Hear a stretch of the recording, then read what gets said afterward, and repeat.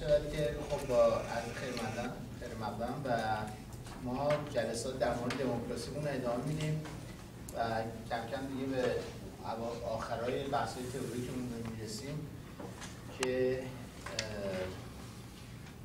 هفته آیندهم در مورد روسو خواهد بود. البته من خودم صحبت نخواهم کرد و بعدش هم میریم به طرف انقلاب فرانسه و انقلاب آمریکا و منتقدان دموکراسی. و بعد از اونم بحثمون دیگه میره به طرف نبود دموکراسی در ایران و موزلات جامعه که موجب شده که دموکراسی در ایران وجود نداشته باشه. امروز تصمیم بر این بودش که من درباره اسپینوزا صحبت کنم. و این شخصیت رو مخصوصا انتخاب کردم به خاطر اینکه دو هفته پیش در مورد هاب صحبت کردیم و فکر می‌کردم که اسپینوزا نسبتا فیلسوف ناشناخته در ایران در صورتی که از فیلسوفان خیلی کلیدی و متفکرین خیلی کلیدی بحث دموکراسی هست در اندیشه سیاسی و به ویژه اسپینوزا رو حالا چه در قرن 18 و 19 به ویژه در قرن 20 متفکرای چپ بهش بازگشتی کردن و حتی موجب شد که خانش از اسپینوزا در میان مارکسیست های یا بگیم نو مارکسیست های اروپایی مثل تونی نیگری، مثل دلوز و دیگران موجب شد که حتی بتونن یه روش بهتری برای فهم خود مارکسیسم داشته باشن. و این به این دلیل است که اسپینوزا اولین فیلسوف مدرنی است که در مورد دموکراسی صحبت می‌کنه و از دموکراسی طرفداری می‌کنه در حقیقت.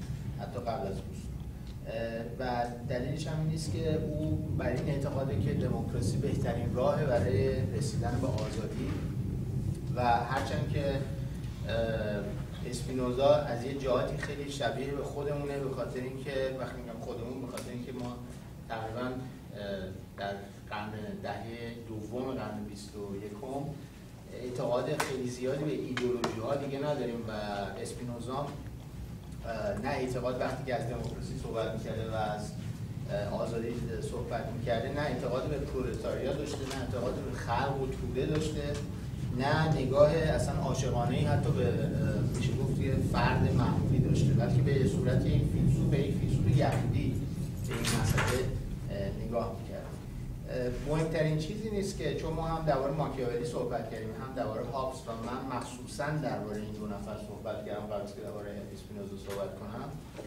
اونا براشون هر دو سیاست یا حکومت یا حاکمیت به عنوان یک ابزاره. یعنی اونا بیشتر در وجه اقلانیت ابزاری به مسئله سیاست و حکومت نگاه در صورتی که برای اسپینوزا اصلا چنین چیزی نیست. یعنی حکومت اصلا مثل هابس براش یک ابزار و, و وسیله نیست برای اعمال قدرت. و به خاطر همینم سیاست از نظر او بر مبنای ترس واقع نشده بلکه بر مبنای امید واقع شده.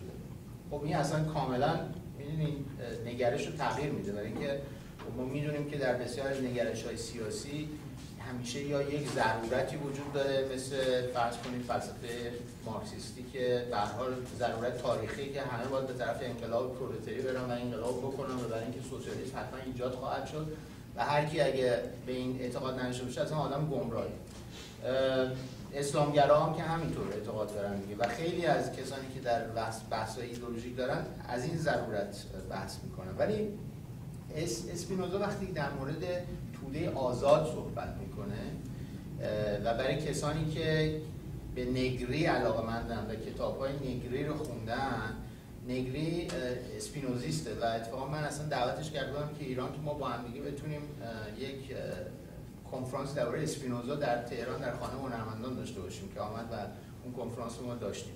و او دقیقا کلماتی که به کار می‌بره در کتاب هم مالتیتود هم امپایر اصلا واژه واژه اسپینوزیستیه اولین چیزی که واژه اسپینوزیستی هم کلمه مالتیتوده که خود اسپینوزا هم در کتاباش به کار می‌بره. بنابراین اسپینوزا وقتی در توده آزاد صحبت می‌کنه پشتش مسئله امید رو می‌ذاره ترس. و میگه که این امید هستش که باید توده ها رو رهبری کنه به طرف دموکراسی. و از نظر او سیاست علم بقای دولته. وقتی می‌خواد سیاست توصیف کنه میگه سیاست علم بقای دولته. مهمترین چیز این است که این دولت مدرن بتونه بقا پیدا بکنه. از یه جهاتی خیلی آدم رئالیسته. می‌دونی متفکر ماتریالیسته متفکر دترمینیسته مثل خود مارکس مثل خیلی از سوسیالیستا. ولی از جهات دیگه آدمی است که برخلاف ها خیلی اعتقاد زیاد داره به اینکه باید دولت رو همیشه حفظ کرد. به نوعی و دولت مدرن اگه وجود نداشته باشه همین چی از بین میره. بنابراین سیاست از نظر او یک تلوس داره یک قایت داره و یک هدف داره. و اون هدف عبارت است از سعادت همگانی باز اون هدف عبارت است از صلح اون هدف عبارت است از برقراری قانون و مهمتر از همه اون هدف عبارت است از آزادی. هدف اصلی سیاست آزادی است.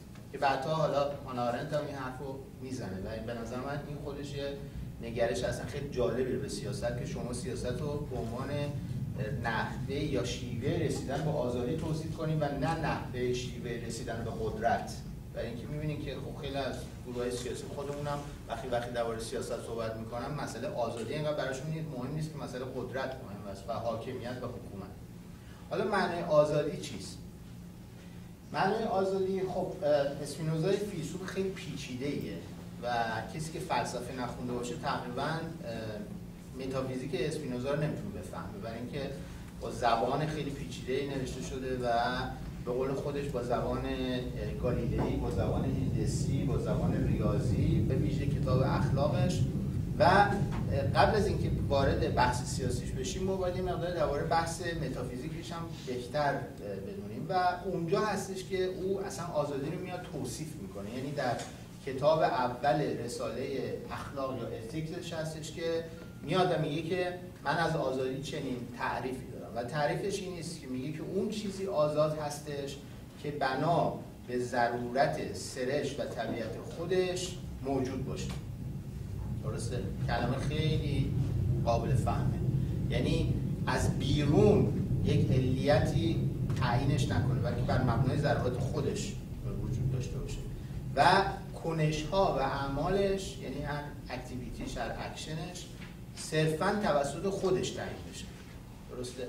اینجا اسپینوزا هیچ بحثی از دولت نمی‌کنه هیچ بحثی از سیاست نمی‌کنه. داره الزاما در مورد موجود آزاد صحبت می‌کنه که مثلا یه موجودی که مثل انسانی که آزاده و انسانی که آزاد نیست با هم چه تفاوتایی دارن. بنابراین آزادی ضرورت آزاده از نظر او. درسته؟ یعنی وقتی ما میگیم آزادی یعنی یک ضرورت آزاد یعنی یک فری نسسیتی درسته؟ Necessity freedom equals free necessity من به انگلیسی هم میگم برای اینکه برای اونایی که یکم مشکل براشون فهم این روشن‌تر بشه. وقتی ما در مورد متافیزیک اسپینوزا صحبت می‌کنیم میگیم یعنی داریم در واقع درباره آنتولوژی درباره هستی شناسی صحبت می‌کنیم. اولین چیزی که به نظرم میاد و خیلی جالب هستش این است که خب اسپینوزا به عنوان یک فیلسوف پانتئیست شناخته میشه یعنی همه جهانی. و در اون متافیزیک شما هیچ گونه هایارکی یا سلسله مراتب ندارید. اولیش اینه. بهترین مهمترین چیزی نیست که شما با یک متافیزیک با یک هستی شناسی طرف اینکه هیچ سلسله مراتبی نداره یعنی در نظام فکری و فلسفی اسپینوزا شما جهان متعالی ندارید. جهان متعالی ندارید. همه چی ایمننته هیچ جهان متعالی ندارید. چیزی به نام ترانسندنس وجود نداره. که این خودش از آموزهای کلیسایی جداش می‌کنه از تمام آموزهای دینی جداش می‌کنه. و او اعتقادی و اینجا ماتریالیزمش بهتر مشهود و روشنتر میشه. او اعتقادی به جهانی غیر از این جهانی که ما در زندگی می‌کنیم نداره. او اعتقاد داره که همه چیز همین جهانه. درسته؟ و این جهان عبارت است از طبیعت و خداوند که هر دوش از نظر او یکیست. ولی وقتی میگه که نیچر یعنی از مساویس با خدا از نظر او. بنابراین میشه گفتش که از نظر او اگر چون آدم برای دینی هستش به عنوان یهودی خداوند علت و علت اصلی و ذاتی طبیعت و جهان هستش. یعنی جهانی که انسان ها توش زندگی می‌کنن. و اگر چنین باشه بنا به توصیفی که اسپینوزا از طبیعت می‌کنه این است که انسان هم مثل بقیه موجودات که در این طبیعت داره زندگی می‌کنه در این جهان زندگی می‌کنه باید توسط قوانین طبیعی تعیین میشه. یعنی ما یه laws of nature داریم یه قوانین طبیعی داریم که اینها هستن که از نظر او ما هم تعیین می‌کنن و انسان یک بخش تجزیه ناپذیری از این طبیعت هستش و تابع قوانین طبیعی هستش حتی اینجا فکر کنم که بحث خیلی روشنه و ما اینجا متوجه میشیم که اسپینوزا یک فیلسوف تعیینگرا یا دترمینیستیکه و نگاهش به خدا و به دین یک نگاه الهیاتی و سنتی نیست. درسته؟ این بحثی که باید اینجا خیلی خوب روشن بشه از نظر شما. بنابراین جهانی که داره توصیف می‌کنه یه جهانی است که توسط قوانین ریاضی ساخته شده از نظر و نه قوانین الهیاتی. یعنی خداش یک خدای غیر شخصیه و نگرش یهودی مسیحی رو به کلی کنار گذاشته. هیچ گونه ریپرزنتیشن این خدا نداره. این خدا سابستنسه این خدا فقط یک جوهره و این خدا هیچ گونه تم... نمایشی تمثیلی ازش وجود نداره که این البته یه چیز کاملا یهودیه. می‌دونین که بعدا در خیلی از متفکرای یهودی هم هست که شما هیچ خدا رو نمی‌تونید ترسیم کنید ولی اسپینوزا خب اینو به صورت ماتریالیست هم داره نگاه می‌کنه. و اون چیزی که مهم هستش این هارمونی این جهان هستش که از براش مهم هستش. خب من گفتم اسپینوزا خیلی تاثیرپذیر بود رو خیلی ها. خب اولین کسی که برای شما مهندسین و کسانی که دانشمندان که بکراند علمی میان اولین کسی که در ذهنتون خطور می‌کنه اینشتینه اگر نوشته های اینشتین خونده باشید می‌دونید که چون اینشتین به هر نوشته های در مورد صلح اخلاق و دین هم داره. می‌دونید که اینشتین فیلسوف محبوبش اسپینوزا بوده. و دلیلش همین بوده که میگه که اینشتین یه بار ازش سوال می‌کنن که آیا تو به خدا اعتقاد داری؟ میگه من به خدای اسپینوزا اعتقاد دارم. اگه من به یک خدا اعتقاد داشته باشم خدای اسپینوزا هستش. یعنی و توضیح می‌خوان ازش که خب تو چی میگی؟ یعنی چی؟ کدوم خدا؟ میگه یعنی خدایی که تجلی هارمونی باشه. و خدایی هستش که در سرنوشت و اعمال انسان ها دخالت نمی‌کنه. بلکه خدایی هستش که به این big picture در حقیقت می‌تونه یک هارمونی بده. میگه من به همچه خدا اعتقاد دارم.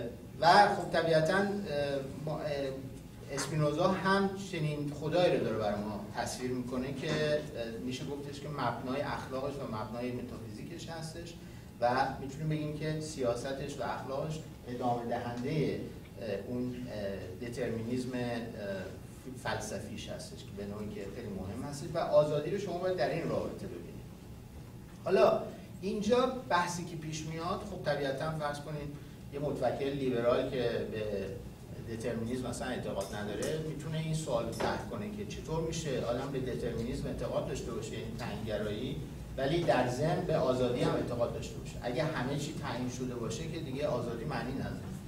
و چجوری اسپینوزا این دوتا رو این تناقض رو حل کرده؟ خب دلیلش این است که اسپینوزا میگه که انسان می‌تونه بین تمایلات خوب و تمایلات بد تفکیک کنه. و اونجا داور اصلی خودشه و به عبارت دیگه یعنی که انسان از نظر اسپینوزا قدرت کنش داره و قدرت کنش برای رسیدن به اهداف خودش رو داره. یعنی رسیدن به همون کلوسی که برای خودش می‌ذاره. حالا اینجا مهمترین چیز این, این که خب شما متوجه باشید که اسپینوزا برای فیلسوفی که بعد از دکارت اومده. اسپینوزا بعد از انقلاب گالیلئی آمده و طبیعتا به چیزی که اعتقاد داره بیش از هر چیزی عقله.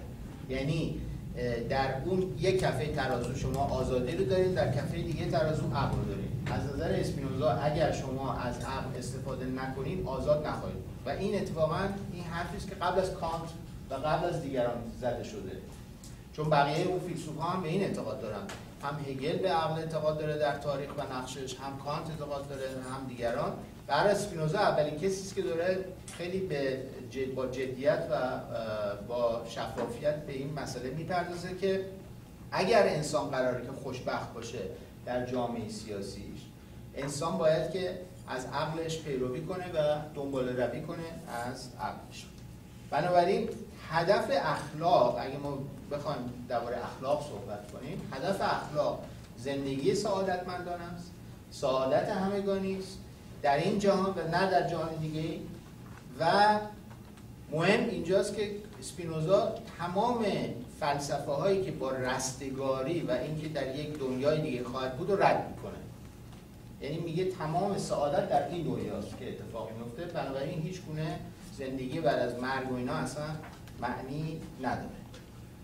حالا سوالی که پیش میاد وقتی وارد مقوله دموکراسی و سیاست میشیم این که آیا سعادت فقط فردی است یا جمعی است؟ که اینو بعدها در اون جلسات درباره اخلاقمون و عشق و مرگ هم خواهیم کرد. خب اینجا اسپینوزا اعتقاد داره که ما باید از مثل هابس و مثل بقیهشون که اعتقاد به پیمان اجتماعی و قرارداد اجتماعی دارن که ما باید از وضع طبیعی در بیایم. اون وضعی که وضع توحش هست ما باید به یک جامعه مدنی برسیم به یک جامعه سیاسی برسیم. و تنها چیزی که می‌تونه به ما اجازه بده که ما به این جامعه مدنی برسیم اون عقلمون هست که می‌تونه به ما این اجازه رو بده برای اینکه ما با استفاده از عقل اون هست که متوجه میشیم که مزایای زندگی اجتماعی و زندگی جامعه سیاسی چی هست. و اونجاست که انسان ها میرن و اون دولت رو ایجاد می‌کنن و این ارتباط مستقیم داره با اون عشق ما به آزادی و اون کنش اینکه ما می‌خوایم به آزادی دست پیدا پس فرد از نظر اسپینوزا در جامعه آزاد هستش که در اون بشه توسط عقل همه چی رو اداره کرد. و از نظر او دولت نتیجه عملکرد عقل. بنابراین دولت که دولت جاهلان باشه اصلا از نظر او دولت نیست. یعنی عملا شما یه چیز لومپنی رو که اصلا بر مبنای هر جهلی قرار گرفته باشه از نظر او اصلا دولت نیست. دولت باید عقلانی باشه کارش هم عقلانی باشه منیجمنتش هم عقلانی باشه. اصلا حرکتش از ابتدا تا آخر باید همش بر مبنای عقل قرار گرفته باشه. و اونجا میشه گفتش که اسپینوزا با حتی یوتیلیتریان ها و ها مثل جان سورت میلی نام حتی مخالفه. به خاطر اینکه اونها وقتی که میان درباره آزادی صحبت می‌کنن همطور که می‌دونیم اونها مسئلهشون بیشتر آزادی منفیه. یعنی میان میگن که آزادی عبارت است از نبود اجبار و نبود قید و بند. این توصیفی است که مثلا جان سورت میل از آزادی میده و این چیزی که بعدها آیزل برلین بهش میگه آزادی منفی. ولی اسپینوزا در مورد آزادی مثبت صحبت می‌کنه نه آزادی منفی. اگه ما بخوایم این تفکیک بکنیم اسپینوزا در رساله سیاسیش میاد میگه که اون کسی آزاد هستش که قدرت عمل کردن رو داره طبق اون قوانین طبیعی و میاد و اون میاد و اون جامعه مدنی رو ایجاد می‌کنه. یعنی خودش از وضع طبیعی در میاره و میرسونه به اونجا خب حالا سوالی که حتما در ذهنتون پیش میاد این نیست که این قوانین طبیعی چی هستن که اسپینوزا دربارشون صحبت می‌کنه؟ که البته کلمه پتانسیال هم استفاده می‌کنه براش. یعنی ما بهش میگیم حالا قدرت یا نیرو که میگه طبیعت به ما این قدرت و این نیرو رو میده برای اینکه ما بتونیم ازش استفاده کنیم و بتونیم جامعه طبیعیمون رو بسازیم. این قانون اولیش حفظ جان و بقای خیشتن. یه چیزی که ما هممون بهش اعتقاد داریم یعنی self preservation درسته؟ حفظ جان حفظ خود حفظ خود. این میگه که این جزء قوانین طبیعی است و اینجا هستش که از نظر او قانون و حق با همدیگه همراه هستن. درسته؟ یعنی هم یک لا هست هم یک رایت هست. قانون و حق با همدیگه همراه هستن و حق طبیعی چیزی است که طبیعت به ما و برخلاف نظریه هابس اجازه میده به ما که ما بتونیم این جامعه سیاسی رو همونطور که گفتم ایجاد بکنیم. ولی اینجا مهمترین بحث این است که برای اینکه اگه یادتون باشه ما در هابس گفتیم که حاکمیت باید ما همه حقوق رو واگذار کنیم به یک حاکم به یک حکمران. در اسپینوزا چه این چیزی نیست. شما حق طبیعیتون رو به هیچکی واگذار نمی‌کنید. حالا اینجا معادله تغییر می‌کنه. ببینید این معادله برای بحث سیاسی ما اینا خیلی ضروری هستن. برای اینکه همونطور که گفتم این پارادایم رضاشاهی که در ذهنیت خیلی ما هستش که خب بریم یه دیکتاتور بیاریم برای اینکه امنیت داشته باشیم دقیقا همینه که شما حقتون رو حالا حق آزادی حق چیزهای دیگه است رو واگذار می‌کنیم به خاطر امنیتتون به یک دیکتاتور. در صورتی که و این چیزی که بحثی است که هابس و خیلی دیگه می‌کردن. اسپینوزا از جمله فیلسوفایی است که میگه شما حقتون رو نمی‌تونید واگذار کنید. اصلا حق طبیعیتون رو شما به کسی واگذار نمی‌تونید بکنید. اون حق طبیعی شماست.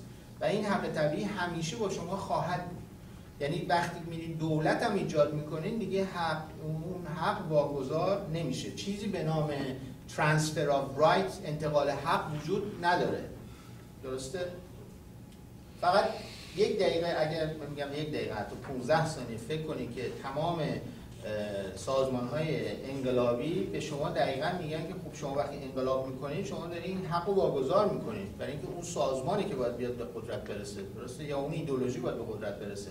عملا شما به عنوان یک فعال اون سازمان از ابتدا دارید حقتون رو واگذار می‌کنید اون حقی که شما دارید به عنوان یک شهروند که این آزاد باشین و این آزادی رو اختیار بکنید بنابراین آزادی دادنی نیست. یعنی نمی‌تونی واگذار کردنی نیست در حقیقت. یعنی یه قابلیت عقلی هستش که برای اسپینوزا که در انسان هستش و باید در جهت اهداف اون فرد عمل بکنه و ایجاد بشه. خب یکم من سریعتر پیش میرم. از نظر اسپینوزا بحث دموکراسی از اینجا معنا پیدا می‌کنه که این حق چه طبیعی باشه چه مدنی باشه با هم هیچ تفاوتی ندارن. درسته؟ همونطور که گفتیم در بعضی از این متفکرها یه پیشفرزی هست که ما در یک دوره از زندگیمون ما در یک حالت جنگل و توحش زندگی می‌کردیم و همه می‌خواستیم همدیگر بکشیم و برای اینکه از همدیگه وحشت داشتیم ترس داشتیم دولت نداشتیم جامعه سیاسی نداشتیم و برای اینکه این کارو بکنیم باید هم که گفتم حق طبیعیمون رو واگذار می‌کردیم که برسیم به جامعه مدنی. اسپینوزا اولین فیلسوفی است که میاد میگه که درست که ما اون حق طبیعی داریم درست که اون وضعیت بوده ولی وقتی ما جامعه مدنی رو ایجاد می‌کنیم اون حق طبیعی هم باقیه بنابراین بین حق طبیعی و حق مدنی هیچ تفاوتی وجود نداره درسته یعنی natural rights با civic rights هر دو یکی هم. هر دو یکی هم. در حقیقت امتداد در امتداد هم دیگه قرار می‌گیرن یعنی اون چیزی که در جامعه مدنی ایجاد میشه به خاطر اون حق طبیعی است امروزه در زبان سیاسی و میشه گفت مدنی ما حقوق بشر دقیقا همینه یعنی ما امروزه به سازمان های سیاسی، احزاب سیاسی، دولت بیشتر اعتماد داریم که میان میگن ما می‌خوایم در حقیقت این حقوق بشر اعلامیه جهانی حقوق بشر رو بیایم پیاده کنیم. حقوق بشر هم تو که می‌دونین اولین مادهش نیست که همین مسئله حق طبیعیه. درسته؟ و بعدش این نیست که این چه جوری می‌خواد بیاد و شکل بگیره دیگه. دقیقا اسپینوزا داره همین میگه. شما حقوق بشر رو بیارین و ببینید چگونه می‌تونیم پیادهش کنیم. ولی نگین که اونجا یک سری از این حقوق باید کنار گذاشته بشه برای اینکه ضرورت سیاسی یا دینی یا فلسفی ما میگه که یا سنتی ما میگه که خب از اینجا به بعد دیگه نمی‌تونیم. این مثلا این آزادی رو نمی‌تونیم به شما بدیم. درسته؟ بنابراین ایجاد جامعه سیاسی و دولت که هر دوشون یکی هستن از نظر اسپینوزا اینا باید اولا ابداع بشن. چیز طبیعی نیست. باز اینجا ما با یک متفکر مدرن سر کار داریم که میگه که جامعه سیاسی ما باید بیم ابداع کنیم. از خود به خود به ما داده نمیشه. بعدش هم میگه در جهت منافع شخص باید گام برداره. و اونجا منافع شخص با در حقیقت سعادت همگانی با هم دیگه یکی میشن. خب فراموش نکنیم که قرارداد اجتماعی اسپینوزا مثل قرارداد روسویی که هفته در درباره صحبت خواهد کرد بر مبنای میل به آزادی در حقیقت و نه ترس و امنیت باز قرار گرفته. یعنی این میل به آزادی ما هستش که موجب میشه که ما بریم قرارداد اجتماعی رو ایجاد بکنیم. و قایت دولت هم که گفتم باز ایجاد برقراری آزادی است و نه ایجاد برقراری حکومت و مسئله امنیت. پس آزادی آزادی انتخاب نیست. ببینید اینجا اصلا با درباره آزادی انتخاب صحبت می‌کنه آزادی هرج و مرد نیست آزادی بیقانونی نیست بلکه آزادی عبارت از جامعه سیاسی و آزادی عبارت از از ایجاد دولت و ابداع دولت و بر مبنای قانون و روش عقد زندگی کردن خب برای اینکه بحثم پایان ببرم فقط یه نکته رو در مورد چون بعدا با هم دیگه بحث می‌کنیم وقت بیشتر داریم من وقتا داره تموم میشه. در مورد دموکراسی بگم که اساسا کلمه دموکراسی چندین بار در بتون اسپینوزا مطرح میشه بحث میشه و اسپینوزا به صورت شفاف میگه که وقتی که من دارم درباره دموکراسی صحبت می‌کنم من دارم درباره جمع آزاد یا توده آزاد صحبت می‌کنم. توده آزاد و جمع آزاد. یعنی جامعه ای که بدون ترس و استراب داره زندگی می‌کنه. بدون ترس و استراب داره زندگی می‌کنه. درسته؟ و اگر بدون ترس و استراب داره زندگی می‌کنه بنابراین قوانینش هم بر ترس و وحشت ایجاد نمی‌کنه یعنی اون شهروندان از قوانینشون پیروی می‌کنن به خاطر از قوانینشون وحشت ندارن. خب این هم بازی درس خیلی بزرگی برای ما ایرانی ها هستش که اصولا از قانون وحشت داریم و قانون اصولا برای ما همیشه چیزی منفی بوده. برای اینکه اون چیزی که می‌خوام ایجاد کنیم همیشه حالت رویایی اون قانون واقعی این اون واقع گرایی که در مقابلش قرار گرفتیم اون قانون همیشه قانون یک قدرت یا یک حکومت یا یک حاکمیتی که ما این دوتا رو از هم دیگه جدا نمی‌کنیم. پس نتیجه اینکه دموکراسی از نظر اسپینوزا جامعه هستش که در اون انسان ها طبق قوانین عقل با دیگه دارن زندگی می‌کنن و به خاطر همین دموکراسی بهترین پایه و اساس سیاسی برای تجلی آزادی فردی و اینجا هستش که ما می‌تونیم در مورد بقیه جنبه هایی که اسپینوزا درباره صحبت می‌کنه حالا این تمام نکاتی که من اینجا تو کتاب شده با هم صحبت می‌کنیم که اهداف هدف آزادی چی هست در حقیقت با چه کسانی داریم باید مخالفت بشه.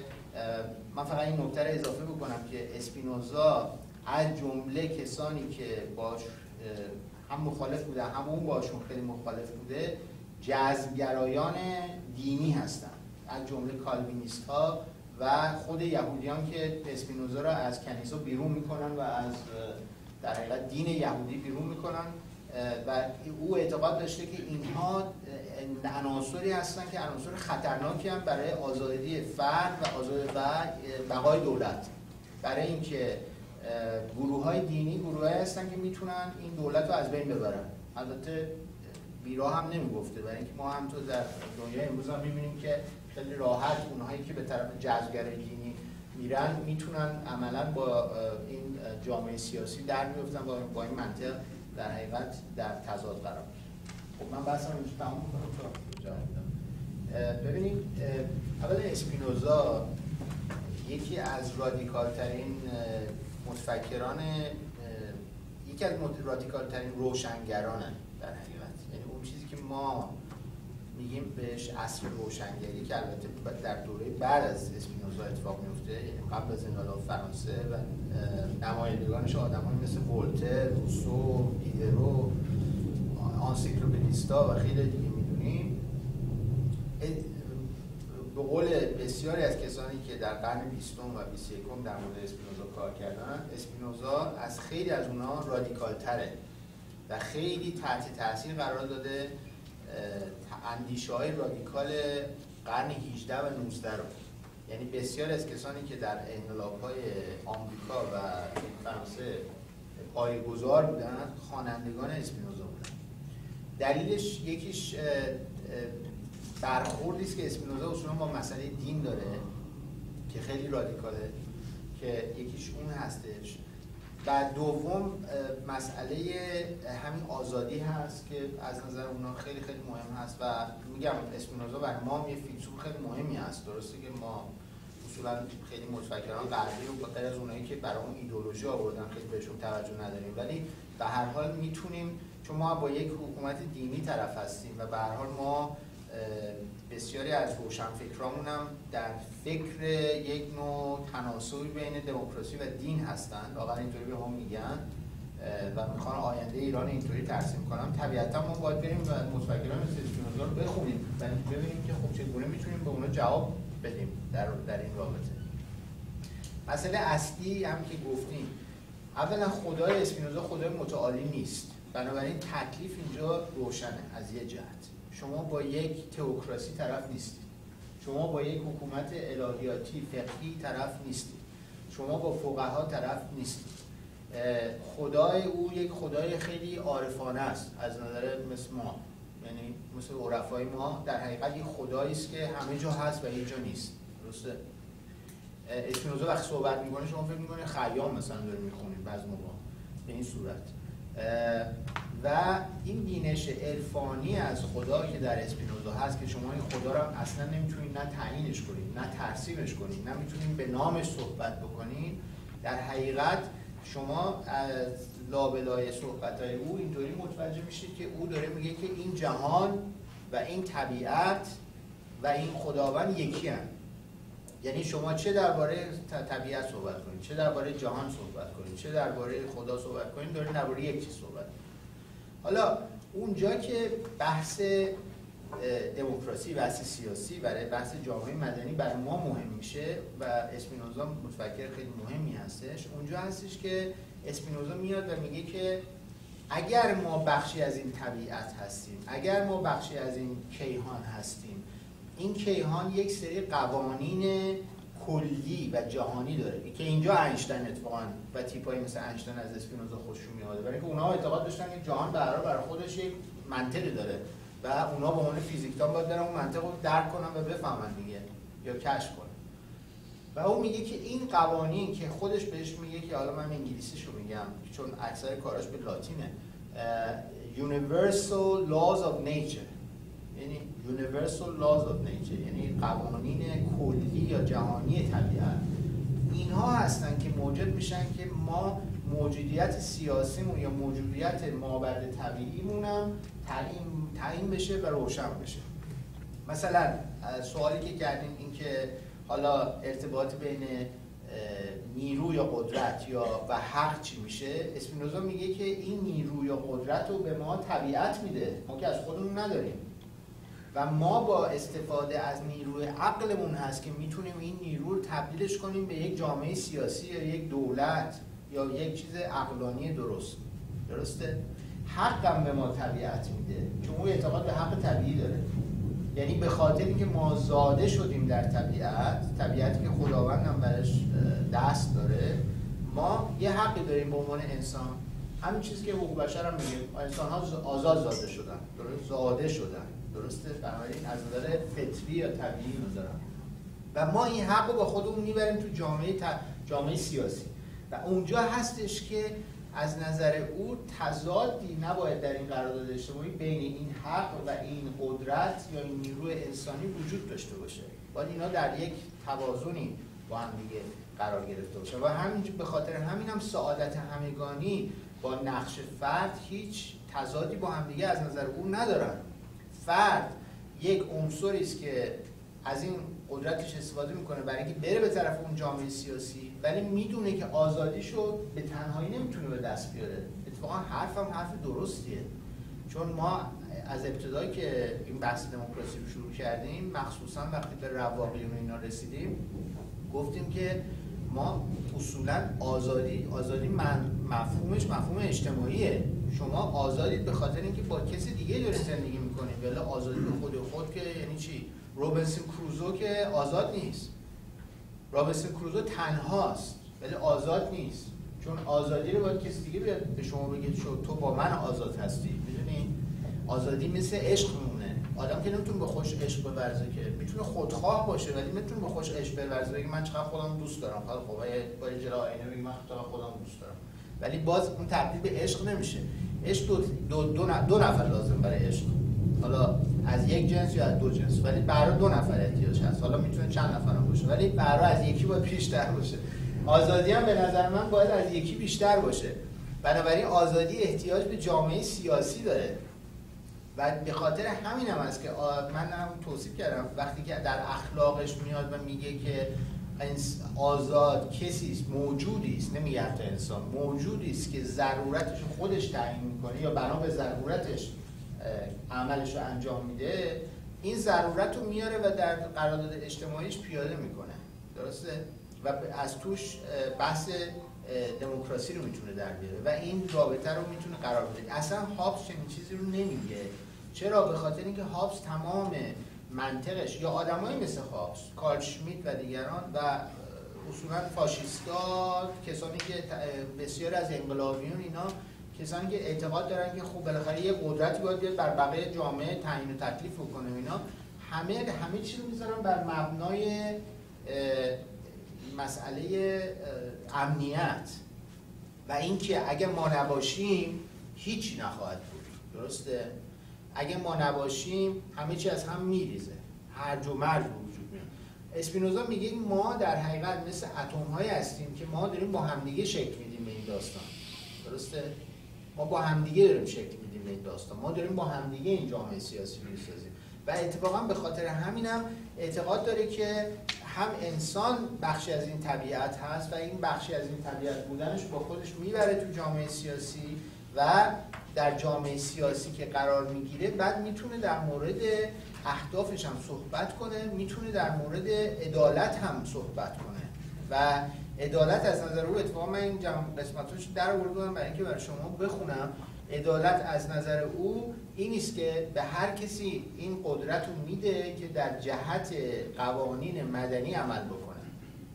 درسته؟ در جهت قوانین. حتی یه چیز خیلی جالب از نظر اسپینوزا این نیست که میگه که شما قانون رو می‌تونید بشکنید به شرطی که به قانون اعتقاد داشته باشید. یعنی مثل سقراط. شما می‌تونید قانون رو بشکنید به شرطی که خودتون شهروند بدونید. اگر شما خارج از این در حقیقت جامعه سیاسی بخوان خودتون رو قرار بدین یعنی که عملا به اون قانون اصلا اعتقاد نداریم اینجا باز ما گوشمون زنگ می‌زنه. چرا؟ به خاطر اینکه من فقط این جمله رو میگم. گوشمون زنگ می‌زنه. چرا؟ به خاطر اینکه ما با در برهه های مختلفی از تاریخ سیاسی خودمون تاریخ خاورمیانه که همین الان می‌بینیم. ما با آدم های طرف هستیم با گروه های طرف هستیم که اون واحد سیاسی رو اصلا قبول ندارند. اصلا قبول ندارند. یعنی چیزی به نام قانون اصلا قبول ندارند. حالا به خاطر این قبول نداشتن قانون می‌تونم بگم ما حاضریم شهید بشیم ما می‌تونیم آدم بکشیم ما می‌تونیم همه چی رو زیر پا بذاریم و و و. و خب اسپینوزا کسی که میاد میگه که ما بالاخره وقتی وارد جامعه سیاسی میشیم باید این چارچوب رو قبول داشته باشیم. درسته؟ در درون اون چارچوب ما می‌تونیم بگیم که ما این قانون رو می‌خوام زیر پا بذارم. یا من می‌خوام مقاومت منفی بکنم. ولی مقاومت منفی وقتی میگه من می‌خوام بکنم این که بالاخره من اعتقاد به یه جامعه سیاسی دارم. من نمی‌خوام دوباره برگردم به وضع طبیعی. درست؟ این خیلی مسئله مهمیه. نمی‌خوام برگردم دو مرتبه به وضع طبیعی. نمی‌خوام دو مرتبه به توحش برگردم خیلی ممنون از سوالاتون و نظریاتون. من فکر می‌کنم که اول اینو بگم که یکی از دلایلی که ما اینجا بحث مفهومی می‌کنیم و بحث فکری فلسفی می‌کنیم در اگورا به این دلیلی که ما با این مفاهیم در حقیقت داریم دست و پنجه نرم می‌کنیم. یعنی ما هممون به نوعی نتایج دنیای مدرن هستیم. حالا چه به عنوان تکنوکرات چه به عنوان مهندس و دکتر چه به عنوان کسی که حتی تحصیل نکرده یعنی آدمی که دور دنیای مدرن یا حتی مدرنیته متأخر زندگی می‌کنه با تمام این مفاهیم ما درگیریم. این مفاهیم در حقیقت پرتاب شدن توی جامعه ما همون من کلمه پرتاب به کار می‌برم پرتاب شدن و صد ساله که ما باشون داریم کشتی می‌گیریم و خب نتایجشون هم خیلی شوم بوده از جهاتی به خاطر همون نفهمی ها و به خاطر کم فهمی ها و کوتاه اندیشی ها و به خاطر همین باید برگردیم و در مورد هر کدوم از اینا صحبت کنیم. اگر شما 99 درصد نوشته هایی که در اینترنت هست که ایرونی ها می نویسن اگه بهش توجه کرده باشید همه اینا به عنوان بدیهیات باش دربارش بحث میشه. و هیچکی نمیاد اینا رو بشکافه. همه میگن ما طرفدار دموکراسی هستیم. همه میگن ما طرفدار حقوق بشری. همه میگن ما بهترین گروه سیاسی هستیم. ولی هیچکی نمیاد این بحث رو بشکافه. و خب طبیعتا اون فاصله که بین اون گفتمان ها هست و اون روش های سیاسی هست این فاصله رو باید پر کنیم از نظر فکری. یعنی این پرسش ها رو باید بکنیم که حاکمیت چیه خشونت چیه؟ دموکراسی چیه؟ حق طبیعی چیه؟ دولت چیه؟ نمی‌دونم توده یعنی چی؟ تمام اینا دونه دونه دونه. برای اینکه شما خودتون وقت به زندگی خودتون خصوصا کسانی که سنشون یکم بیشتره وقتی برمیگردن می‌بینن که خودشون در حقیقت عوامل احزاب و گروه های سیاسی بودن که هیچ وقت پرسش نکردن. فقط بهشون گفتن شما مثل برده بیاین تو خیابون یا تراک پخش کنین یا برین کشته بشین به نام ما. بنابراین این پرسش سیاسی خیلی مهمه. و اینجا اتفاقا اسپینوزا به ما کمک می‌کنه. مثل خیلی از متفکرهای دیگه و مثل خیلی از بحثایی که ما می‌کنیم به خاطر اینکه در حقیقت کسی است که درگیر این شکلگیری دموکراسی در دنیای غرب بوده با تمام کمی و کاستیاش یا درگیر شکلگیری دولت مدرن و سیاست مدرن بوده که ما به نوعی خودمون درگیرش هستیم. یعنی حتی در تئوری توطئه‌ای که داریم که اعتقاد داریم که همه چی کار آمریکا و انگلیس و روسیه و چین و اینا هست خب اونا به صورت دولت های مدرن دارن این کار انجام میدن. اونا که به صورت چنگیزخان که و تیمور لنگ که انجام نمیدن. بنابراین ما مجبوریم بریم ساختارهای سیاسی اونها رو هم بشناسیم و ببینیم که در حقیقت چه اتفاقی داره میفته. حالا اینجا سوالی که شما کردین از چند نوع بود. یکی این که مسئله اصلی متفکری مثل اسپینوزا این است که هدف دولت این است که باید انسانها رو عقلانی کنه. درست خودش هم میگه. میگه که هدف من این است که انسانها رو به جایی که من اصلا بعد اون چیزشو می‌خونم انگلیسیشو. میگه the purpose of the state uh, it, it is not I say. The purpose of the state to change men from rational beings into brutes and puppets, but rather to enable them to exercise their mental and physical powers in safety and use their reason freely. خب دیگه از این روشنتر دیگه شما چی می‌خواد؟ دوره میگه که هدف سیاست و هدف دولت این نیست که آدم ها رو عقلانی کنه بنابراین دولتی که نتونه این کار انجام بده اون دولت از نظر او قابل قبول نیست خب اولین چیزی که بحث میشه خصوصا برای آدمایی که در درگیر دین و سیاست هستن. دولت دو دولت های دینی آیا انسان ها رو عقلانی تر می‌کنن یا به طرف وحی میبرنشون؟ یعنی براشون عقل مهمتره یا وحی مهمتره؟ چون اگر وحی مهمتر باش اگه نبود که دیگه دولت دینی نیستن دولت سکولارن. می‌دونی؟ دولتی که میاد خودش رو دولت دینی معرفی می‌کنه یعنی که باید این ساختار براش وحی مهمتر باشه دیگه. باید براش ساختار الهیاتیش مهمتر باشه. حالا ولایت مطلقه و فقیه هم نباشه ولی بالاخره براش وحی مهمتر از عقل بوده. و اینجا از نظر اسپینوزا این قابل قبول نیست. در اینکه دولت اساسا باید یک مبنای عقلانی داشته باشه. حالا عقل رو ما می‌تونیم بیایم به عنوان کسانی که در آخر قرن 20 یعنی در دهه دوم قرن 21 هستیم و بعد از تمام انتقادهایی که شده به مسئله عقلانیت بیان بگیم خب این عقل می‌تونه توتالیتر بشه این عقل خودش ایدولوژی به وجود میاره. درسته. اسپینوزا برای متفکری است که در قرن 17 هم داره این چیزا رو می‌نویسه. می‌دونید فاصلهش با ما خیلی زیاده. حداقل چهار قرن فاصله داره. و این چهار ما از خیلی چیزا رد شدیم که اون اصلا تصورش هم نمی‌کرده از جمله توتالیتاریسم های فاشیستی و استالینی و پولپوت و و و, و انقلاب ایران که اصلا این آدما تصورش نمی‌کردن که همچین چیزی اتفاق خب بنابراین اینا همش مسئله است. بعد بحث دیگه که می‌کنه که بازم اون بحث خیلی مهمیه این نیست که فضیلت دولت ثبات و پایداری. اگر شما بخواید در مورد جامعه سیاسی ناپایدار صحبت کنید این جامعه سیاسی نمی‌تونه جامعه سیاسی باشه. باز اینجا ما متوجه میشیم که یه متفکری داره به ما یه بحثایی رو پیشنهاد می‌کنه که این بحث از بر, ما خیلی ضروریه. برای اینکه یک گروه سیاسی یا یک دولت سیاسی یا انقلابی که به ما میاد میگه که خب حالا من با هرج و مرج می‌خوام زندگی کنم یا اصلا چون ما در جنگیم چون ما در ایدولوژی داریم چون ما مستضعف داریم چون ما می‌خوایم فلان کار بکنیم ما حالا شما باید پیش و به تنتون بمانیم که ما 20 سال 30 سال می‌خوام در یک وضعیت نامطلوب زندگی کنیم. اصلا برای همچین متفکر قابل قبول نیست. میگه تو یا دولت هستی یا نیستی. اگه دولت هستی باید شرایط سعادت همگانی رو فراهم بیاری. با کمک خود مردم.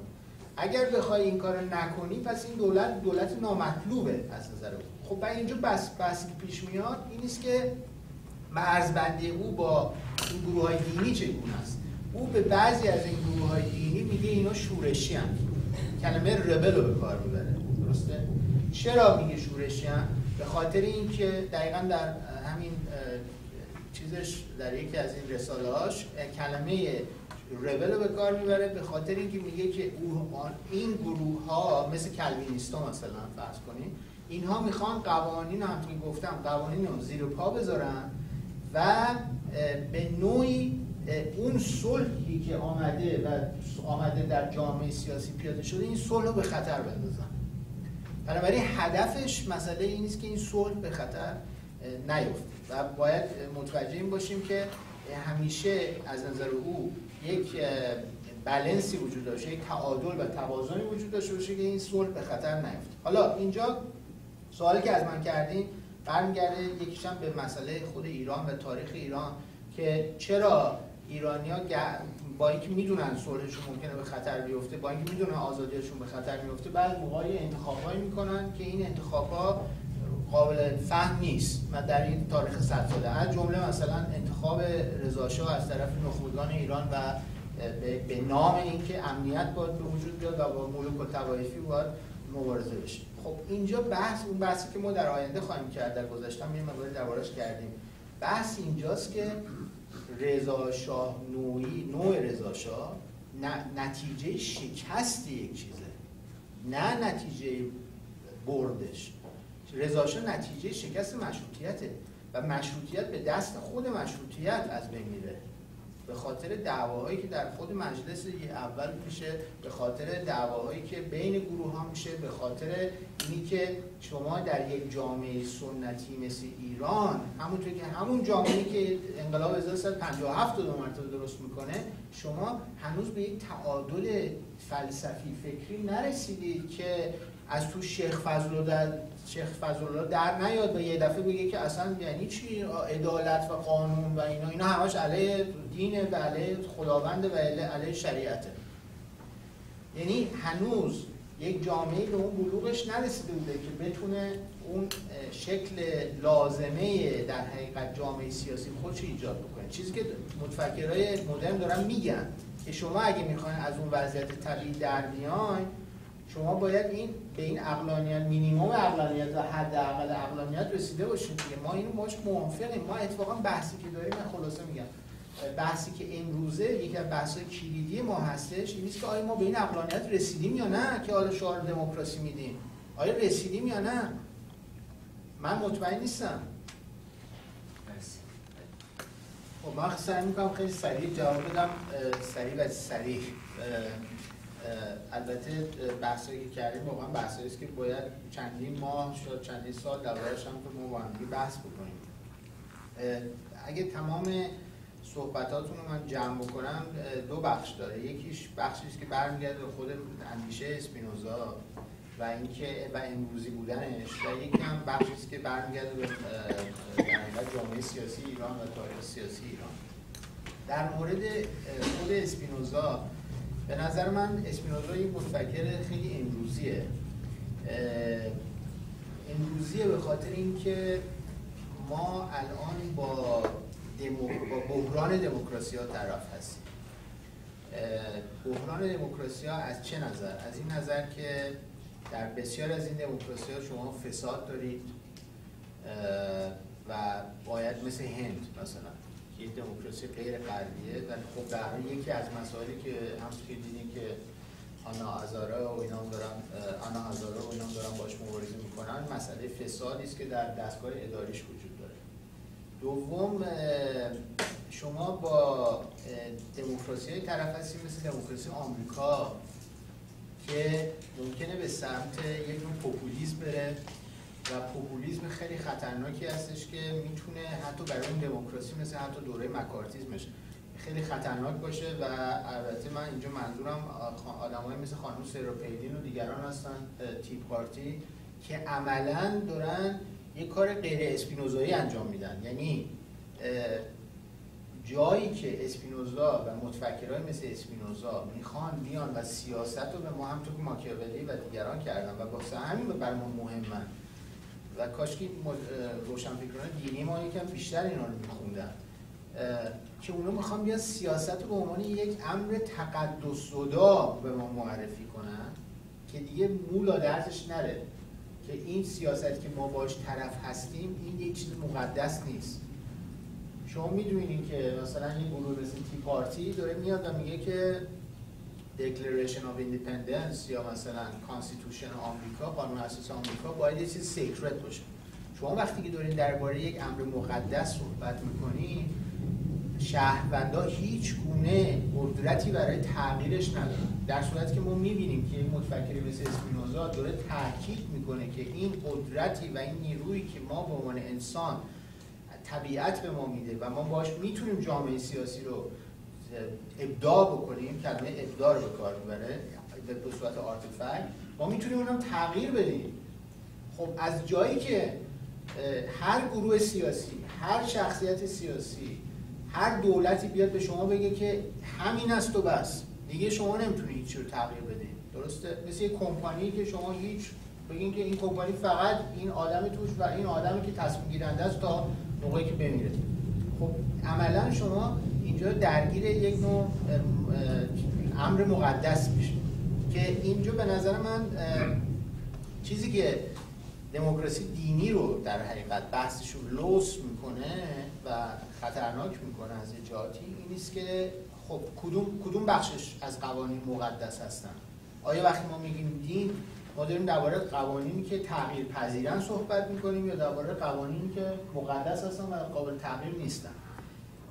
مسئله ای که من دارم ببینید من خودم شخصا طرفدار خیلی از آدمایی هستم که معنویت رو در سیاست وارد کردن. واندی یکیشون دالای لاما یکیشون. ولی آدمایی هستن که سیاست رو به عنوان امر مقدس مطرح نمی‌کنن. دالای لاما نتیجه همین اواخر شما هم که می‌دونید میاد و میگه که من از قدرت سیاسی می‌خوام بذارم کنار و بیاین انتخابات آزاد بذاریم و نخست وزیر برای تبت در تبعید انتخاب بکنیم خب این یعنی چی؟ یعنی که مردم هستن که باید بیان انتخاب کنن. این سیاست چیز امر مقدسی نیست. و خب من اینجا فکر می‌کنم که این مسئله بسیار بسیار مهم نیست که ما باید با همیه بتونیم اینو در میان بذاریم. حالا اسپینوزا دولتی که داره درباره صحبت می‌کنه که این دولت باید از خودش نتیجه عمله و کنش اقلانی شهر انسان ها هست و باید به این اقلانیت ادامه بده ما اینجا دقیقا می‌فهمیم که منظور چیه. جامعه سیاسی رو آدمای عاقل ایجاد می‌کنن. ولی جامعه سیاسی برای اینکه پایدار بمونه باید با این تعقلش تعقلش ادامه بده. ما می‌دونیم می‌دونیم بخاطر می‌بینیم برای اینکه تجربه همین قرن بیستم به ما نشون داده که شما اگر یک دولت غیر جاهل داشته باشید غیر عاقل داشته باشید غیر عقلانی داشته باشید می‌تونه شهرونداش رو فاسد کنه.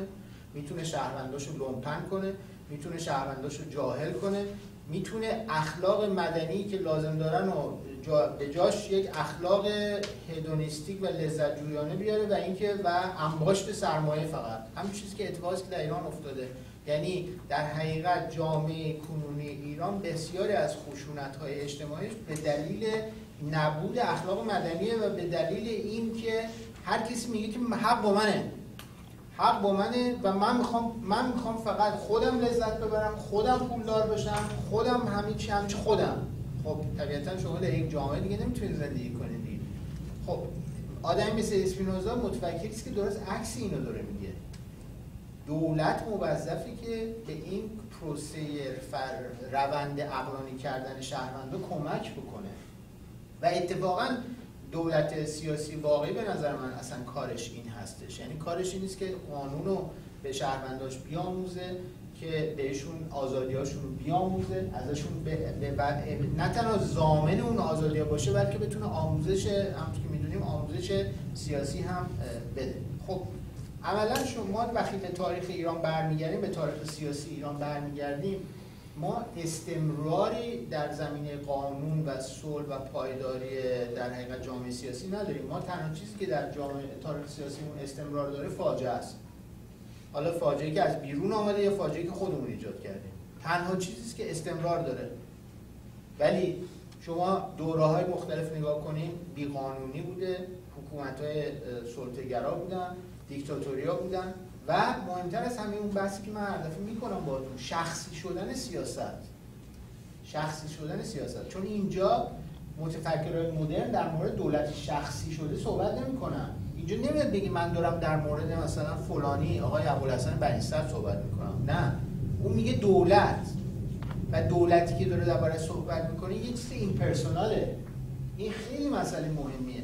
مدرنیته سیاستی که به ما میده یک سیاست این پرسوناله در صورتی که ما سیاست هایی که در شرق داریم همیشه سیاست های پرسونال هم پرسونالایزدن شخصی شدن.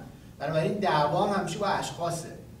و نتیجه گیری هم همیشه شخصیه که این شخص اگه بره کار ما درست میشه. اگه شاه بره همه چی درست میشه. مسئله شاه نیست و رفتن شاه نیست. مسئله استراکچر مسئله ساختار جامعه سیاسیه. درسته؟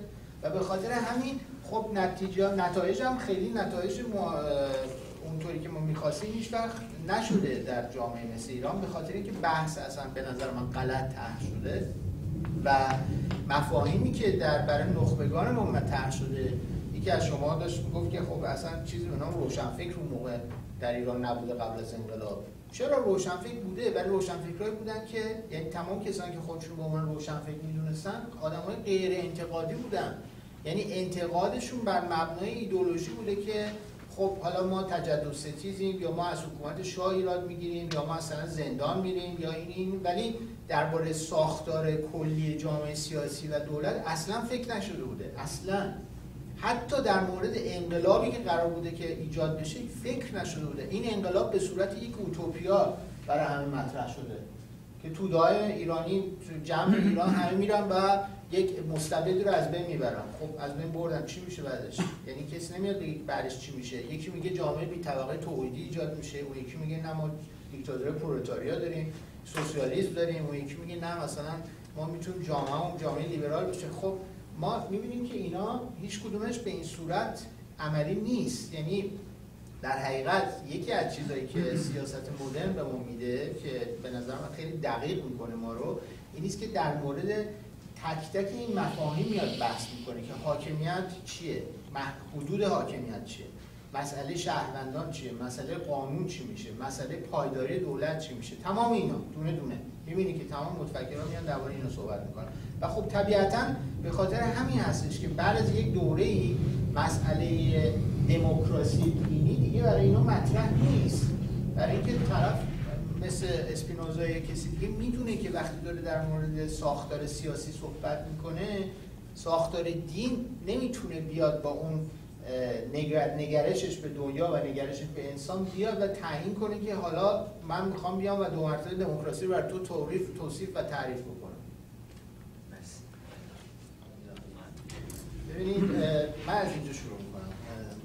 چون این بحث های برای بحث های فلسفی موجب میشه یعنی بحث فکری موجب میشه که بسیاری از چیزها یک مقداری روشن بشه. اولا اون گفته که شما هیچ وقت دوبار در یک روز خانه شنا نمی‌کنید مال هراکلیتوسه نه مال اسپینوزا. ولی اسپینوزا به هر حال اعتقاد به یک سری یعنی یکی از ضعفاش نیست که به عنوان یک متفکر پانتئیست اعتقاد نداره که بعضی از چیزا تغییر می‌کنه. مثلا خداوند تغییر نمی‌کنه. ما هممون اتریبیوت های خداوند هستیم. یا اون چیزی که اون بهش میگه جوهر اون تغییر نمی‌کنه. اون یه چیز پرمننت همیشگیه. ولی انسان ها موجوداتی هستن که با اینکه مشتقاتی از اون ذات هستن و مشتقاتی از اون طبیعت هستن به خاطر قوه عقلانیشون می‌تونن تغییراتی رو ایجاد بکنن هم در خودشون هم در جامعه سیاسیشون. اسپینوزا حالا کلا این صحبتی که شد به نظر من صحبتی که ما چند بار کردیم. شما متفکرها رو در حالا در چه تاریخ شرق چه در تاریخ اندیشه غرب نگاه کنی اینها دو جور نگاه. کلا دو جور نگاه هستش به انسان. یک نگاه نگاه بدبینانه است یک نگاه نگاه خوشبینانه است. اونهایی که طبیعتا نگاه بدبینانه دارن اعتقاد دارن که باید یه همچین پیشفرزای عقلانی یا منطقی رو مثل آدمایی مثل اسپینوزا یا هابس و ماکیاولی حالا دیگران دارن که قبل از اینکه جامعه سیاسی درست بشه چون جامعه سیاسی به صورت ارسطویی برای اینا درست نمیشه. انسان بنا به طبیعتش نمیاد با هم دیگه زندگی کنه. بنا به ضرورتی که داره میره جامعه رو ایجاد می‌کنه. متوجه هستین؟ این بحث خیلی مهمیه. یونانیا اعتقاد داشتن که بنا به طبیعتمون ما میریم به طرف اینکه ما اصلا سیاسی بشیم. سیاسی هستیم. بالفطره ما سیاسی هستیم. درسته؟ ما حیوانی سیاسی هستیم. بقول این جمله که همه بلدیم. اینها اعتقاد ندارن که ما حیوانی سیاسی هستیم. اعتقاد دارن که یعنی تمام دنیای مدرن اینطوره. ولی یه کمی دربارش فکر کنین دولت مدرنی هم که دارین باهاش زندگی می‌کنین رو بهتر می‌فهمید. اینجا یک تصنع ایجاد میشه یک آرتفکتی یک ابداعی انجام میشه. درسته؟ یعنی انسان ها میرن یک چیزی رو می‌سازن. و چون این چیز رو می‌سازن به نوعی باز اون تقدس زدایی درش هست. چون این چیز خداوند که به ما نداده که. درسته؟ آقای هارپر هم نماینده خداوند نیست. چون اینو به ما خداوند نداده. اینو ما خودمون درست کردیم. بنابراین می‌تونیم تغییرش هم بدیم. می‌تونیم در مرحلهش انقلاب بکنیم. می‌تونیم تبدیل گلوبلایزش بکنیم. می‌تونیم عوامل جدید واردش بکنیم. و و این تمام این اتفاقات هم افتاده. یعنی در حقیقت بحثی که ما اینجا نکردیم دولت مدرن همراه با سرمایهداری مدرن با همدیگه ایجاد شدن و هر دوشون نتیجه عقل بودن. و سومی تکنولوژی. تکنولوژی دولت و سرمایهداری. سه عنصر عقلانی مدرن هستن که ما امروزه بدون این سه عنصر نمی‌تونیم زندگی بکنیم. درسته؟ ما که نمی‌تونیم برگردیم به آبای بخش. به در جنگل زندگی بکنیم که. بنابراین فراموش نکنیم که تمام هر سه این عناصر توسط انسانهای مدرن ابداع شدن و نظریه‌ای که پشتش هست این نیست که نه خداوندی نه عوامل خداوندی نه پیامبری نه کسانی که نمایندگان وحی هستن اینها رو ایجاد کردن. بلکه انسان هایی که آمدن آستین بالا زدن اینا رو درست کردن و می‌تونن تحولش بدن و می‌تونن شکل جدید بهش بدن می‌تونن سرمایه‌داری رو تبدیل به مالتی نشنالا بکنن می‌تونن دولت مدرن رو تبدیل بکنن به یک دولتی که درش ممکنه که یه چیزای جدید به وجود بیاد. می‌تونن در مورد روابط بین‌الملل صحبت بکنن می‌تونن در مورد تکنولوژی پیشرفته صحبت بکنن می‌تونن حتی درباره قدرت انهدام همه اینا با همدیگه صحبت بکنن. درسته؟ چیزی که اصلا در مخیله یک آدم مذهبی به طور کلی اصلا نمی گنجه که انسان قدرت از نابودی خودش و جانوران و طبیعت و کره زمین و تمام این چیزها رو داشته باشه. چرا؟ به خاطر این باید یک استمراری وجود داشته باشه یه زندگی معنی داشته باشه مرگی معنی داشته باشه و اگه توجه کنین هم معنای زندگی برامون عوض شده هم معنای مرگ برامون عوض شده هم معنای اخلاق عوض شده هم معنای عشق عوض شده هم معنای بچه دار شدن هم معنای ایژوکیشن همه همه. دقیقا به خاطر این سه یعنی دولت مدرن تکنولوژی مدرن در حقیقت تکنولوژی و علم مدرن چون ما داریم در مورد techno science صحبت می‌کنیم اینجا در حقیقت. و این مسئله تقدس به طور کلی. درسته؟ خب اینجا بحثی که پیش میاد نیست که اگر اسپینوزا میاد درباره وضع طبیعی state of nature صحبت می‌کنه یا هابز صحبت می‌کنه به خاطر اینکه می‌خوان میان بگن برای چی جامعه سیاسی باید ایجاد بشه. یه پیش‌فرض منطقیه که برای خودشون ایجاد می‌کنه. ولی می‌دونن که جای اونجایی مثل رابینسون کروسو وجود نداره که ما اسمشو بذاریم state of nature اصلا چنین چیزی وجود نداره. اونا بهتر از این می‌دونن ولی اینو به عنوان پیش‌فرض در برای خودشون مطرح کردن. و خب اینجا هستش که من فکر می‌کنم که ما می‌تونیم حالا این بحث رو کمی جلوتر ببریم. یعنی اسپینوزا اعتقاد داره به امثال هم که انسان انسان آزاد انسانی که همونطور گفتم از عقلش می‌تونه پیروی کنه و می‌تونه با این عقلش قانون گذاری بکنه ولی یه محدودیت هم داره. حالا اینجا بحثی که برای ما پیش میاد چون من می‌بینم شما این برار در همه ما این حس هستش که این بحث رو ببریم جلوتر و از قالب اسپینوزا و حالا قرن 17 و 18 و 19 و 20 و همین رو ببریمش بیرون بحث کلیترش بکنیم من اینجور نظر خودم میگم از تمام چیزهایی که در زندگی یاد گرفتم. به نظر من دو تا فاکتور هست در همه انسان ها که یکیش که تمام این جوامع میشه گفتش که تاریخ سیاسی یا تاریخ جوامع رو ساخته به ویژه در بچه مدرنش و اینا چیزای یونیورسال. همه انسان ها یه بخش سیکولوژیک دارن یعنی یه چیزی به نام سایکی دارن یه چیزی روح دارن ذهنی دارن و همه انسان ها یه قدرت منطقی عقلانی دارن. این دوتا در همه جوامع وجود داره. همه جوامع می‌تونن بشمرن. همه جوامع می‌تونن آنسامبل ایجاد بکنن همه جوامع می‌تونن که مجموعه داشته باشن. حالا از توتم گرفته تا مجموعه های خیلی پیچیده ریاضی و اینا. ولی همه جوامع جوامع متافیزیکی هستن کم و زیاد. جوامی هستن که براشون روح و ذهن و نفس مهمه. جوامی هستن که در مورد ممکن زندگی بعد از مرگ صحبت کنن. جوامی هستن که در مورد دین صحبت می‌کنن در مورد آیین های دینی صحبت می‌کنن. بنابراین شما از اینجا اگه حرکت بکنیم می‌بینید که ما داریم در مورد قدرت این که هم انسان ها به قول شوپنهاور حیوانات متافیزیکی هستن صحبت می‌کنیم هم به قول بسیار از دانشمندان و فلاسفه اینکه قدرت عقلانی منطقی دارن. از اینجا ما می‌تونیم بگیم که کدوم جامعه در کدوم جامعه کدوم قدرت و کدوم قوه مهمتر شده. خب در جوامعی که مثل جوامع مثل کانادا امروز قسمت عقلانی منطقی قوی تره همه چی کوانتیفایبله همه چی شمارشه همه چی عقلانیه همه چی بر مبنایی نیست که باید یک عقلانیتی پیش بره. جامعه خیلی متافیزیکی نیست. حالا شما یه جوامعی دارین که این جوامع اگر اون متافیزیکشون ازشون بگیرین اون جوامع سقوط می‌کنن. تبت الان اینطوریه هند اینطوریه. به نظر من ایران نیم بند این وسط در حقیقت یه جامعه است که هم با متافیزیک زندگی می‌کنه هم می‌خواد یه جور عقلانی بشه. ولی کاملا عقلانی نشده. درسته؟ بنابراین اینجا این تناقض اساسی وجود داره و این متفکرها در حقیقت این تناقض رو دیدن. می‌خوان یک بلنسی یک توازن و تعادلی بین این دوتا ایجاد بکنن که انسان که قدرت تخریب داره انسانی که می‌تونه وحشی ترین حیوان باشه انسانی که می‌تونه خودکشی بکنه انسانی که می‌تونه کانسنتریشن کمپ ایجاد بکنه می‌تونه تو شکنجه بده کاری که یه برق و یه برق نمی‌کنه که بده شکنجهش بده که کلاش بکنه زیر آب بیارتش. یا اینکه به خودکشی دست جمعی بکنن. یا اینکه شما سازمان های سیاسی ایجاد بکنید که مثلا تمام افراد بگن خب برید خودتون بکشید چون مثلا رهبرتون از بین رفته.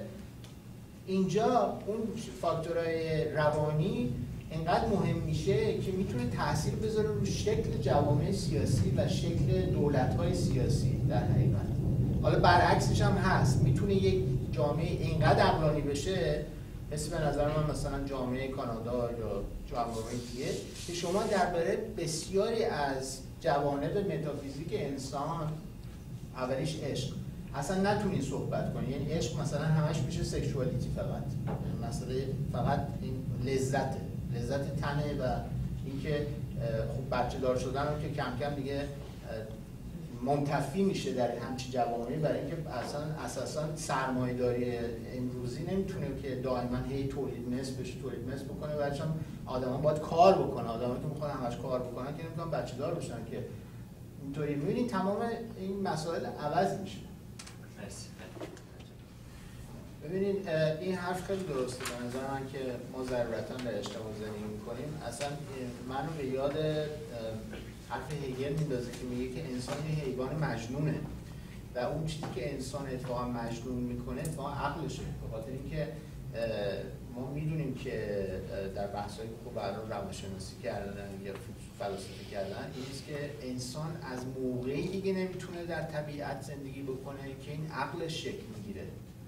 یعنی دیگه یه پرایمیت نیست یه ایک نیست. می‌دونی دیگه از میمونا جدا میشه. حالا می‌خوام چیز داروینی رو حساب کنیم به در نظر بگیریم. و این عقل در حقیقت مسئله اصلی انسانه. به خاطر اینکه عقل که هست عقلی است که انسان بر مبناش جوانش رو می‌سازه. ولی باید برای این جوامع بتونه یک تعادلی و یک توازنی این جوامع خودشون دچار جنون نشن. حالا سوالی که بر ما پیش میاد این که چرا در تاریخ سیاسی بشر این جنون وجود داره؟ جنون جنون های سیاسی وجود داره. شر سیاسی به وجود میاد. بدی سیاسی به وجود میاد. درسته؟ و اونجا هستش که خب خیلی میگن که این خودش نتیجه اون عقل این عقل مدرن خودش از توش فاشیسم در میاد توتالیتاریسم در میاد از توش می‌تونه بمب اتمی در بیاد که هیروشیما ناکازاکی رو به وجود بیاره و و و خیلی چیزای دیگه. خیلی هم اعتقاد دارن که خب این استفاده غلط از عقل بوده که موجب میشه که مثل اسپینوزا که به هر حال از آن سوال می‌کنه اسپینوزا به هر حال یک دنبال روی دکارت از این نظر. یعنی که اعتقاد دکارت هم جمله فروغی یعنی ترجمه فروغی بهش دو دکارت دنبال روش راهبرد عقل هست. روش راهبرد عقل. روش راهبرد از از نظر دکارت یعنی چی؟ یعنی که ما رو برسونه به یک سری حقایق. اتفاقا اسپینوزا در اتیکس هم در اخلاقش هم همینو میگه. میگه که ما عقل به ما می‌ذاره که ما adequate ideas. کلمه انگلیسیش اینه adequate ideas. میگه که ایده هایی که در خداوند هست همون ایده ها در انسان ها هم هست و انسان ها با کمک از عقلشون می‌تونن ایده هایی که در ذهن خداوند هست و اونا رو بشناسن. یعنی یه سری حقایق البته کسانی از شما بین شما که ریاضی خوندن می‌دونید که اون داره دقیقا مدل ریاضی رو پیاده می‌کنه. یعنی منظورش از حقایق حقایق ریاضی هست. می‌دونی؟ مفمتیک و تو در حقیقت. اصلا متافیزیک نیست. خب اینجا بحثی که پیش میاد این نیست که ما وقتی که داریم درباره یک جامعه دینی صحبت می‌کنیم و حالا جامعه خودمون رو در نظر می‌گیریم من بحث اساسی که دارم نیست که جامعه دینی در گذشته ایجاد کننده یک اخلاق هم بوده. اخلاقی که مردم عادی از دینشون می‌گرفتن. اونا که نمیشستن کانت بخونن که. مردم عادی که ما باشون سر کار داشتیم هنوز هم سر کار داریم. حالا در هند در ایران در بقیه جاست در چین. در ترکیه است. مردم عادی از سنتاشون و از دینشون هستش که این اخلاق رو می‌گیرن. وقتی یک جامعه دینی وقتی یک دینی وقتی نمایندگان یک دینی خودشون نابود کننده اخلاق باشن تکلیف با اون دین چیه؟ تکلیف با اون جامعه دینی چیه؟ یعنی خودشون کسانی هستن که اون اخلاق از بین می‌برن. خودشون اولین کسانی هستن که اون اخلاق زیر پا می‌ذارن. خب من فکر می‌کنم که دیندار متدینه هایی که در ایران بودن دینداران ما در جامعه سیاسی ایران در تاریخ سیاسی صد سال ایران به دو دسته تقسیم میشن. یک عده افرادی هستن که به این اخلاق و ایجاد این اخلاق اعتقاد دارن. هنوز پایبند یک سری اصول هستن. هنوز فکر می‌کنن که شما اگر می‌خواین که یک جامعه آزاد داشته باشید جامعه که حتی دیندارها می‌تونن درش حضور داشته باشن اون جامعه باید اخلاق داشته باشه یه آدمی مثل بازرگان اینطوری فکر می‌کنه. شما بازرگان وقتی می‌خونید چیزاشو بازرگان مهندس بازرگان یا آدمی است که به اخلاق اعتقاد داشت. اول انقلاب هم این گفت آقا شما چرا میگین بکشین بکشین. دائما چریک فدایی میگه بکش مجاهد میگه بکش نمی‌دونم همین یکی از چیزایی که نگران بود این که شما چرا دائما و بالاخره خودش کنار رفت به خاطر اینکه آدمی بود که نمی‌تونست شرکت کنه در این پروسه بی اخلاق شدن جامعه ایران. کسانی که شرکت داشتن در انقلاب اکثریتشون از کسانی که طرفدار دینداران و کسانی که حکومت ایجاد کردن و حتی کسانی که در اپوزیسیون حکومت بودن مسئله اصلیشون اخلاق نبود مسئله اصلیشون قدرت بود. مسئله اصلیشون قدرت بود. و اتفاقا یکی از دلایلی که اینها به نظر شخص من هیچ وقت عنصر خشونت رو نقد نکردن به خاطر این مسئلهشون اخلاق نبود و مسئلهشون همیشه خشونت سازمان مجاهدین خلق ایران یکی از این گروه بودن که به خاطر سلسله مراتب سیاسیشون به خاطر ایدولوژیشون به خاطر رهبریشون به خاطر نحوه چیزی که خودشون بهش می‌گفتن تبیین جهان در رساله آقای رجبی دیگران نوشته بودن. به خاطر استفاده از نیروی مسلحانه و نظامیشون که اعتقاد دارن خب لژیتیمه و مشروعه ولی اصلا مشروع نیست. برای چی مشروعه؟ هیچ وقت نقل خشونت نکردن درسته؟ و هیچ وقت نه در میان خودشون نه در میان طرفدارانشون نه در جامعه ایران نتونستن اون اخلاقی که من اعتقاد دارم که در دین می‌تونه ایجاد کنندش باشه ایجاد نکردن شما یه همچین افرادی رو مقایسه کنید با یه افرادی آدمی مثل گاندی حالا و یا مارتین لوتر یا تامس مرتون یا دالای لاما یا هر دین دیگه که می‌خوان که ببینید آدم هایی که در دین خودشون دارن اخلاق ایجاد می‌کنن و رهبرهای اخلاقی اون دین و اون جامعه هستن. اصلا چی مهمتره؟ من حاضرم دستم بذارم تو آتیش. هیچ کدوم از گروه های سیاسی ما رهبرانشون رهبران اخلاقی نیستن. همه رهبران سیاسی هم. یک دونشون رهبر اخلاقی نیست. چرا؟ به خاطر این مسئلهشون ایجاد اخلاق نیست. ما یکی از مسائل بزرگ جامعه ایران که امروز داریم مسئله نبود اخلاقه. برای اینکه آینده ما رو در خطر گذاشته. جامعه که بدون اخلاق باشه هر کسی بیاد و هر گروهی بخوان فردان بیان باید با یه جامعه بی اخلاق طرف بشن. و مسائلی که براش پیش میاد همین مسائلی است که آدم مثل اسپینوزا داره میگه. یعنی شما فقط باید یک دقیقه به خودتون فرصت بدین که فکر کنین که برفرض این حکومت رفت. ایران فردا آماده. شما یک جامعه که مردمش خودشون خودشون می‌کشن. ما هم دائما در درست یه وضع طبیعیه دیگه. ما در یک state of nature داریم زندگی همه با هم بدن همه می‌خوان از هم دیگه رقابت در یک رقابت شدیدن. هیچ سیاست همگانی شما ندارید. همه اینا باید بیاد دیکته بشه یا اینکه در یک فرایندی قرار بگیره یک فرایند تاریخی اجتماعی قرار بگیره که همه با هم شرکت کنن و بفهمن که برای چی اون جامعه رو درست کنن. مثل داستان مشروطیت دقیقا همه متوجه بشن که این حرکت برای چی انجام شده و شکست مشروطیت اگه اتفاق میفته به خاطر اینکه همه متوجه این شکست و این روند نشدن. ایده شدن ایده هم فکر می‌کنن که این چه وضعیه؟ این که داره دین ما رو از بین می‌بره این داره سنت های ما رو از بین می‌بره. ما اصلا عدالت می‌خوایم چیکار؟ ما بهتر همون محمد علی شاه رو داشته باشیم بعدش هم رضا شاه رو داشته باشیم. استبداد صغیر رو داشته باشیم.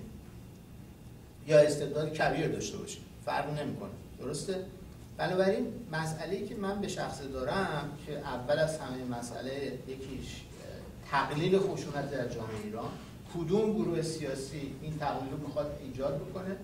چه اخلاق با چه اخلاقی و چه پیام اخلاقی می‌خواد این کار بکنه؟ و چقدر بقیه شرکت میده در این که اینجا بتونه این اخلاق مدنی ایجاد بشه؟ چقدر بقیه شرکت میده؟ نه اینکه بیاد بگه من به شما دیکته می‌کنم و ما جز بهترین هستیم. خب شما وقتی که افراد یک سری از این گروه سیاسی رو قلقلک میدین می‌بینید که چیه؟ مثل پانزر مثل تانک میان می‌خوان شما رو نابود کنن. که شما به چه حقی به ما این ایرادات گرفتین؟